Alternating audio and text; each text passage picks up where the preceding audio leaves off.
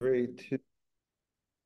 Hello, Tom La Vecchia here with a very, very special edition of the New Theory podcast. Today, we got a very special guest, Jared Ferrara, my favorite actor in Entourage and many other of his great uh, shows and and, uh, and podcasts. But now he's launching a new podcast called Throwbacks, launching September 5th on the podcast station or whatever platform you choose. Jerry Ferrara, welcome to the New Theory podcast. How you doing today, buddy? I'm doing good. Thanks for having me. And uh, that was a great introduction. I appreciate it. It's my pleasure. I, I, I it's funny because I've been wanting to have you on for a long time. We had this opportunity, so I'm going to jump right in. Cool. So, Jerry, you, you know, you had a diverse career in both television, you know, and film. How was your role uh, as Turtle and Entourage shape your career? You know, what did you learn from it, and how are you going to kind of roll that into your experience for throwbacks? It's funny because you know it, it happened kind of quick for me getting Entourage, but in my eyes, it was taking so long. You know, I started acting around like 17 years old uh, in New York, doing plays and stuff and extra work. Moved to LA when I was 20. And by 23, I was on Entourage. So I, in my eyes, that took a long time. A lot of people tell me I truly don't know how lucky I am. And I do know yeah. I'm lucky.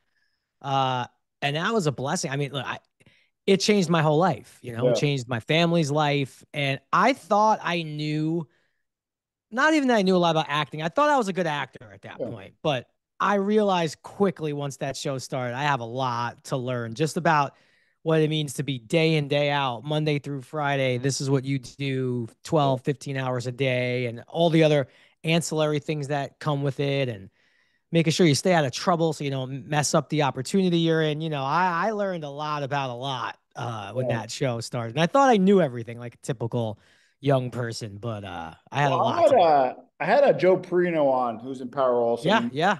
And I had him on a while back, and he talked about what kind of jammed him up was he had very early success. Sure, sleepers. Yeah, the second and third round, they're like, wow, it's not that easy. But you stayed level headed, and uh, I'm happy for that. So you transitioned from acting to being a sports commentator. How did your love for like sports influence that shift, and how do you balance those two passions?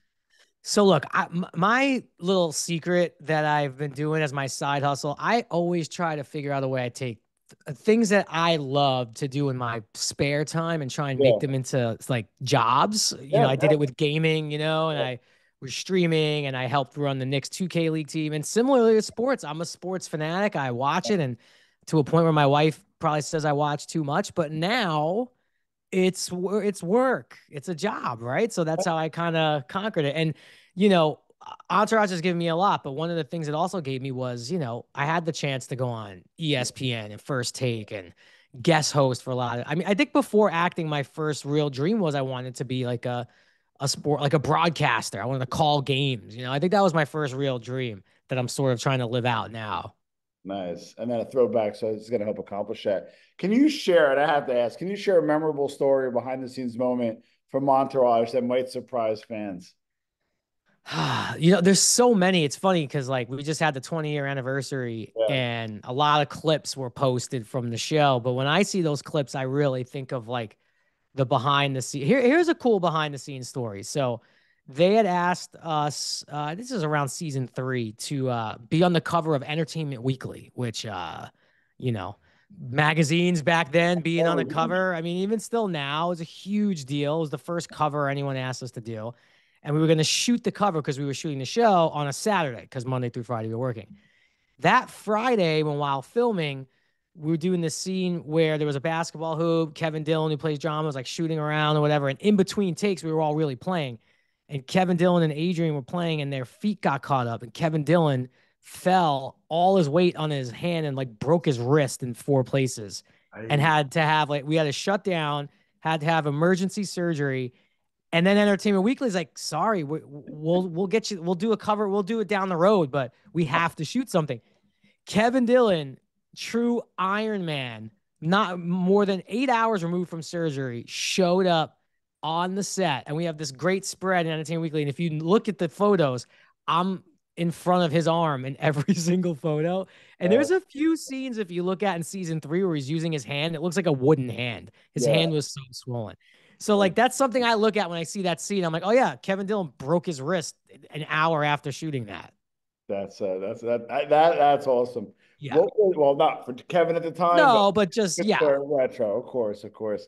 So what was it like working with like legends like Michael Douglas, De Niro, in uh, was it Last Vegas? And yeah, had a standout moments there because I would totally geek out, but that that was crazy. You know, I really wanted that that movie. It was a really cool part, and all my stuff was with those guys. You know, it was kind of like this senior citizen hangover, and mm-hmm. I, you know, I auditioned for it a bunch of times, and then when I got it, obviously I was nervous going to work that first day. Like my first scenes were with like Michael Douglas and, yeah. and De Niro, and I think those guys know. At that time, I think I was probably like 30 years old. I think they just know uh 30 year old kid from New York. Yeah, he probably w- worships us. So they yeah. just kind of brought me in right away and started asking me a bunch of questions about myself. And wow. next thing you know, you're like, hey, Mikey, Bobby, good scene today. Way to go. You know, it, it, was, uh, yeah, it was another surreal moment where I feel like my career has been a, like a joke that someone's playing on me. I love it. In Lone Survivor, you worked with again another great cast. You hooked back up with Mark Wahlberg, Taylor Kitsch. How, how did the uh, intense nature of that film, you know, impact the camaraderie amongst the cast and, and, and help you in your career? So, what's crazy that you said think you know Last Vegas first is I you know and I didn't have a very big part in Lone Survivor, but I had a very I think important part. I'm uh, on the phone with Taylor Kitsch's character, Mike Murphy, while he's committing the heroic act and yeah. losing his life as well. Yeah. Uh, so I was shooting Last Vegas at the same time. So I'd be in Vegas shooting this like comedy with these legends. Everything's about the joke.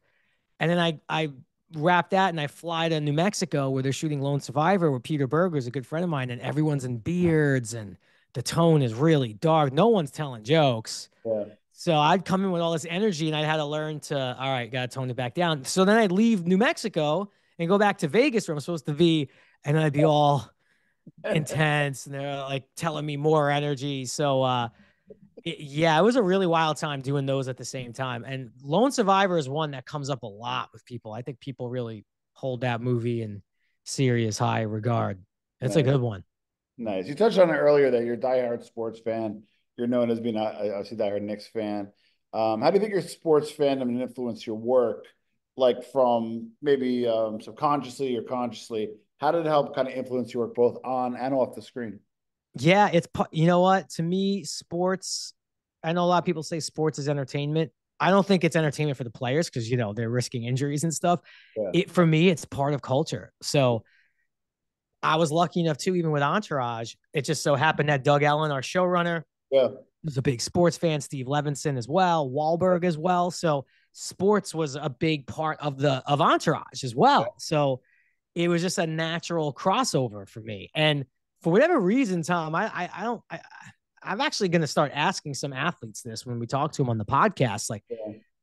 of course, actors enjoyed the the show. Maybe it was a little too close to home, but athletes really took to Entourage. The, yeah. the most set visitors we ever had while we were shooting it wasn't like, oh, uh, Tom Hardy's here visiting. Yeah, no, it was like uh, Kevin Durant's here today, or Steph Curry's here today. And, you know, so, you know, I get it from my mom. My mom's a big sports fan, and I, I think it's actually helped my acting career in, nice. in, a, in a weird way, like understanding the moment. Nice. I mean, I, this is probably by design, but whenever you would meet like another A-lister on the show, they always knew who Turtle was. I believe LeBron knew who you were. Um, like pretty much anybody. And then you're kind of sitting there, you're like, well, wait a second. Like Turtle's really intertwined with this with this crew. So I always thought that was kind of cool. So it was I'm, a little inside joke. Like there was one, I think Kanye and Turtle knew each other. I think the Ari character says, Turtle, introduce me to Kanye. It's like, how does he know these people? You got to talk to. I love it. So, you know, you, you know, you say your life, you know, life is a movie and, and, and you're doing great, but you got some pretty, you know, good and big roles. How did you choose which roles to take that, you know, that you were offered? What was your criteria and what was important to you to, because obviously, listen, at the end of the day, you have to accept these roles. So what was important to you when accepting these roles? So here's how it's worked with my career. Once I really started working, you know, yeah. uh, look, any decisions on like, am I going to do it? Am I not going to do it? Was always a is the character good, right? Like, is there a yeah. moment to play or moments to play? Yeah. And then I always just said, like, do I would I want to see this movie? Yeah. You know, or this show? Would I watch it? That's another big thing. But I'll tell you, to be honest, Tom, as as lucky as I have been, all the good stuff I still have to fight for, right? Like I'm not trying to yeah. say I was never been offered anything good. I have, you know, yeah. quite often. But if it's something that came along, like even like Lone Survivor, that wasn't just like Pete Berg saying, like, hey, you want this cool part? Oops, sorry. He um, you know, it it took a while. So I always felt like too, if there was resistance, yeah. For the idea of me, that means it's probably something I should go after because it's probably really good. I love it. Out of all the questions, this is probably the one I'm really interested in, in learning. Do you have any interesting rituals or superstitions when it comes to watching the Knicks and your other favorite teams? God, I should get my wife down here to talk to you about this one because specifically, I'm probably most crazy about the Knicks. I mean, I'm crazy about it all, but the Knicks because they've been such a, a, kind of tortured franchise in a lot of ways, and the fans. Uh, I'm I like to watch alone. Uh yeah. Uh not like if it's like this, but like if it's a big game, like yeah. I need to like all the playoff run they were just on. I'm like on the couch. Wow, really? If, wow. I'm superstitious. Like if I have like I, I wear a hat that I'm I have to sit in the same spot. I do the same things. I am very, very superstitious when it comes to watching Knicks. It's actually something that Matt, my, Matt Leinart, my co-host, yeah. and I, because Matt says like, obviously Matt's a big sports fan, but yeah. he's also a professional athlete. So yeah. like, I don't feel any certain way about one team like you do about the Knicks, right? Like I have, I'm a fan of like the Dodgers, but he's, we watched the game together, a Knicks game, a playoff game, and he saw me in my my glory and torture. And he's like, he just was entertained by watching me watch the game. Well, one of the cool things about throwbacks is going to be you got to obviously talk about sports and stuff, but you got to kind of give it two different angles. You have an accomplished actor, but it, but like kind of like respectfully a regular New York guy on top of it, which is cool. Also, I like. And then you have like Matt Leinart, who, who Heisman Trophy winner. So we're gonna see it. So from like different perspectives. So like give us a little bit of preview on you butt heads? Are you aligned? I mean, it's good. This is you know what is it? USC, I think he was. USC, and you know, you USC at a time he won the Heisman. Yeah.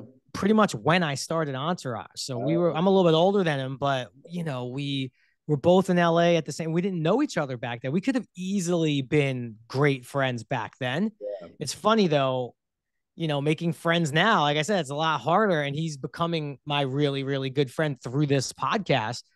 And yeah, like, look, I ask him a lot of stuff. Like, I'm I'm so curious about the things that no one asks athletes. Like, all right, what are you watching on the plane? These guys fly all the time, yeah. right? What are you packing? What do you bring? Do you leave the hotel a lot? What are you doing for? if I had to travel 30 weeks a year, I'm on a plane twice a week. I, I'd have a I have a million questions, but I'd be panicked for my schedule.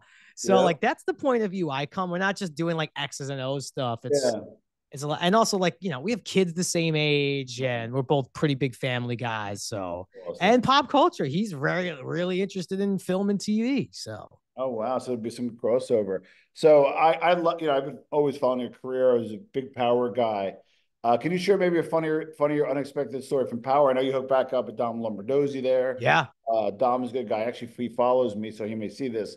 Uh, so give us maybe something on Power that uh, a lot of people don't know about. Well, I will say Power was cool for me because when I first started acting, I really thought of myself more dramatically. Well, here's a story I'll share, right? So. Yeah you do entourage all these years and then you want to go do dramas and everyone is kind of like oh well he's like the entourage guy like he's comedic can he do yeah, drama and here courtney kemp the creator of yeah. power uh, writer producer creator you know i met with her for a different role didn't work out and she had said to me which tom i've heard this 35 times in my career she said um you know i'm going to write something for you i think that you could do really good in the drama so yeah. when I call you, just be ready. I'm like, sure, sounds yeah. wonderful. I look forward to never hearing from you again. sure enough, a year later, she called me with the role of Proctor. And not only the role of Proctor, laid out like the seasons. Like wow. by season four, Ghost is going to be in jail and you're going to be trying to get him out. Like she had it all, man. And, uh, wow. and then so I go do power for six years yeah. which is a New York drama, and then I get off that, and I'm going after a com a comedic movie, and they're like, "Oh, can you do comedy?" uh, he was just on a drama for six years. Can, well, he, you know can he do comedy? I'm well, like, you know yes. funny? Because we're you know we're on the same age, so there's almost like different kind of Jerry Ferraras. Like obviously for me, you're going to be you know turtle for a minute and and and then kind of graduate to power. But there's people that are younger that know who you are who don't even like my. I married a little younger. My wife's 28. She doesn't even know what entourage is. yeah. Tom, listen, I walk the streets of Brooklyn sometimes, oh, and I'll be on one. I'll be in one street, and it's like, uh, hey, it's Turtle. Oh my god, you know, it's a bunch of thirty-five to fifty-year-old dudes, yeah. right? And then I cross the street, and then it's usually a lot younger people coming up to me. It's like Proctor from Power, and they don't know Entourage. The Entourage, yeah. they don't know Power. Like, Funny. it's almost like being typecast twice, yeah. but which shouldn't happen because that defeats the whole theory of yeah, typecasting, right? Yeah, yeah, yeah. It's been a wild ride. Well, you um, and this may be by design, Jared. It's a positive thing. You were never super like the Soprano Italian mobster guy, or like you're at the you know whatever con, and you're kind of living off the past. You kind of navigated always kind of one step ahead of the curve. Was that um, what what part of that is design? What's luck? What's skill? What's not? Like, because I, I, don't have you. Like, I'm not calling you up saying, "Hey, come to the whatever con in New York and you're signing signatures all day." Your career is still peaking. Tell us a little bit about that. Yeah, I, I think it's all the things you just said, right? Like, I can't claim it's all by design because I'm not that smart, but. You know, podcasting, for example, which is some of what we talked about today. I, my wife and I, she wasn't my wife at the time. We started ours back in 2012, right? It's no longer in existence. Once we start, once we started having kids, yeah. she no longer will talk in front of a microphone ever again, probably. But we had it for six, seven years. It was very yeah. successful. Yeah. That was part my hobby, but also part like this is kind of where it's all going. So reading the tea leaves, similarly with oh, gaming too. Yeah, yeah, yeah. With gaming, knowing like live streaming. So that is, I guess, the skill by design part, and also getting myself into really good shape, which was also yeah. a for my own health because I was really not healthy, and b look, what's the biggest way to change people's perception of you if they think you're one thing? Maybe yeah. look a little different, right? So partly by design. But the the luck of it all was that, you know, I guess just I, I don't know, maybe it wasn't luck, but you know, the fact that gaming would become so popular and podcasts would become so so popular worked in my favor yeah. for sure. But also, I don't know if a lot of people who in my position at the time would have did power when I did. What I mean by that is the first role I went to talk to Courtney about was a smaller role Interesting. And then when she when she pitched me Proctor and all that, but like at the time, Power hadn't blown up yet. It was on Starz, which not a lot of people yep. were jumping to be on Starz at the time. Yep. You know, and I and it wasn't. I could tell you now, it was not a lot of money, so I was. It wasn't a financial decision at all, and it was in New York. It wasn't even like in my own backyard. I was living in L.A. but it was like, hey, it's a good, it's a good part, and yeah. I still was on. We were doing the Entourage movie at the time, so it wasn't like I yeah had to do it. I was getting paid very well to do the Entourage movie and stay in LA, but I'd get on the plane, I go shoot a day and a half in New York yep. in the dead of winter and come back to LA. And I think that's part of it, you know. And also I tried my best to never screw anybody over and be uh, like, you know, a nice, a nice normal guy. I love it. Uh, I've got a few more questions before I wrap up. How important is your background being an Italian American? I have a certain affinity for you as an Italian fellow Italian American. How important, you know, is it being an Italian American actor, and how does that help you along the way, or or not sometimes? And you know, in LA, I know there's like kind of like a lot of people from New York and a lot of Italians that way now, yeah. if you will. How has that kind of helped shape your career as Italian American? Well, first of all, I, I am very, very proud. I feel like there's a, a long list of very prominent Italian American actors. I don't put myself on that list, but you know, it does. I do. well, you know, De Niro, Pesci, like it's a it's a long list. Um, I, I definitely feel a certain pride. But it's oddly enough, like you said, though, I'm never considered for like the gangster mob yeah. roles. I just I've I've went out for a bunch of them. Maybe it's because I'm a shorter guy. I'm not physically imposing, although Joe Pesci was arguably the most threatening gangster character of all time. And I think I'm way bigger than him. Yep. But uh, and you mentioned Dom Lombardozzi, he yeah.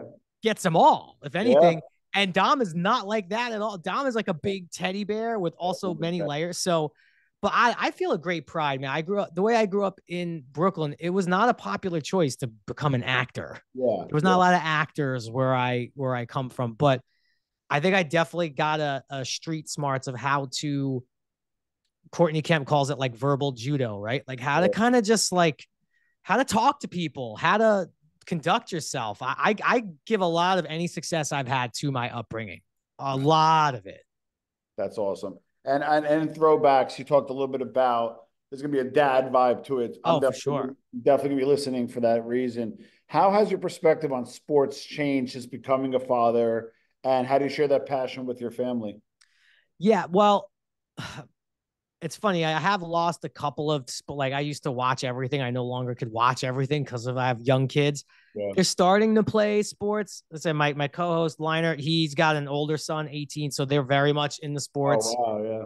And his younger kids are starting. Mine are kind of starting. Uh look, it's funny. You know what's actually interesting? Every night before I we put the kids to sleep, my older son, my five year old, who's playing the drums, I think I just heard right now. So good yeah, thing we're wrapping soon. Awesome. Yeah, you know, we'll li- we listen to podcasts. The one we love is like Who's Smarted. It's made for kids. It's like yeah. educational, and he sees me do the show sometimes from home, or he comes with me to L.A. And now at night, he makes me voice note him, and we record. He records a podcast. He literally says like and subscribe. he awesome. he knows all the the things to say. So I'm like all right, he doesn't know me as an actor yet because he can't watch anything I've been in, but he knows me as this right now. That's pretty cool. That's awesome. So before we wrap up, you're in New York for 24 hours. You have time to grab one slice of pizza and one one restaurant sit down dinner. Which two are they? Pizza and restaurant.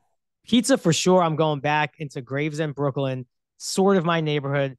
Uh, Spumoni Gardens, L and B oh, pizza. Yeah, yeah. I mean, down. That's nice. where we went every Sunday yeah, as a kid. Nice. And look, this is a corny answer. I don't have the restaurant. I'm going to my mom's kitchen. Uh, my mom has the best meatball. I know every Italian kid says their mom's got the best meatballs. Yeah. My mom really has the best meatballs of all time. Awesome. That is awesome. Well, listen, check out Throwback. September 5th it launches. Jerry Ferrara, Matt Leinart, wherever you find your podcast. Jerry, I'll give you the final word before we wrap up. No, I just want to thank you, man. You you know, you said a lot of nice things to me that I feel like you meant, and I like that you put me on the Italian American actors list. That means a lot. Uh, just thank you for taking the time. I enjoyed this conversation. It's my pleasure. We'll be in touch, and thanks again, man. Take care, Tom. All right.